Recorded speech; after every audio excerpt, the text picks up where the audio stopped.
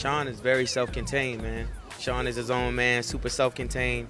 He might have called me like, you know, a couple times, like, listen, come through the studio.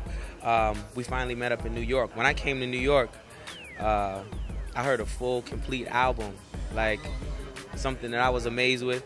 Um, I knew everybody else was gonna love it, and I think him being number one shows it.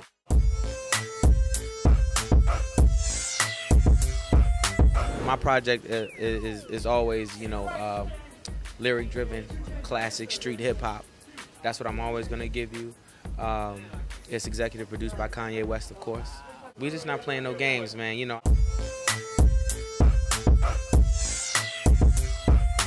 I think I've always been very business minded, and um, I think it's the maturation of Pusha T. Like, you know, this was supposed to be. You ain't wearing the suit and tie though. You still got the. No, you know, you know, just like Gucci, you know,